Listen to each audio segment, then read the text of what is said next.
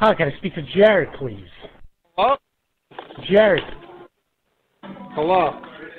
Uh, he told me to call him. I just needed to hit him up. We're supposed to go out to a party tonight, so What? he's like a short, sexy guy. Who, who are you looking for? He said to call him. Can you please put Jared on the phone? Who are you looking for? Excuse me, don't raise your voice to me. I'm not an igloo. Please put Jared on the phone. You're cut. You're cut because you're being a dick.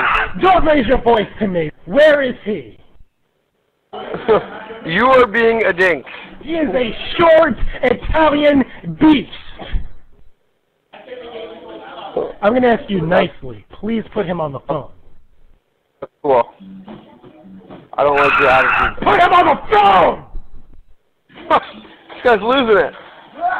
This guy's losing it. You've just been pranked by prankdial.com.